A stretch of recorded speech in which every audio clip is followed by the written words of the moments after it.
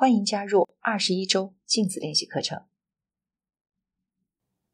第十九周的记录练习一：每天都要滋养你的感恩态度。开始写感恩日记吧，写下至少一样让你感谢的事物。写下所有让你感谢的事物，为你感谢的每样事物写一个肯定句，用在镜子练习里。